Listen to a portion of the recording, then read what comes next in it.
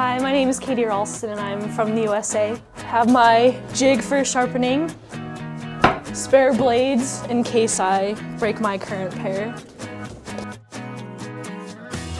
And skin suit, cut proof, my team jacket, all my helmet, transponders, neck guard, glasses, gloves, everything to keep me safe. So here's just my change of clothes, spare cut proof in case I fall, which is likely, and of course skates.